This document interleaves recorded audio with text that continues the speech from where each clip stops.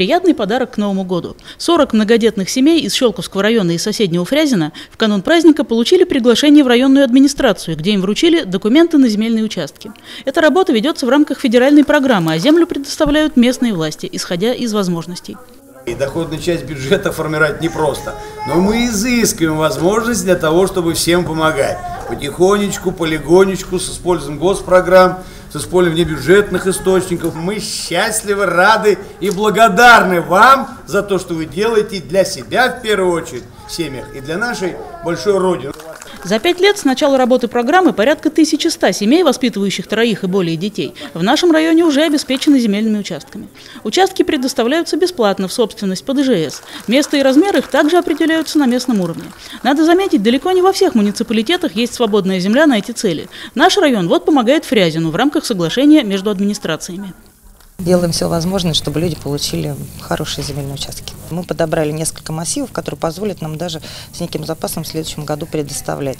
В этот раз семьям предоставлены участки по 10 соток в селе Каблукова, Огудневского и деревне Костыши Фряновского поселений. Инфраструктуры там пока нет, но районные власти помогут. Есть подъезды, это вблизи деревни, но что касается внутри участков, это, конечно же, муниципалитет берет на себя, это непростая задача, затратная. Мы на следующий год запланировали некие средства для того, чтобы осуществлять строительство инфраструктуры, будем всячески помогать. Евгения и Наталья Трушины воспитывают трех дочек – Машу, Сашу и Катюшу. По закону встали на очередь на получение участка, но не ожидали, что подарок придет под Новый год. Теперь семья строит приятные планы.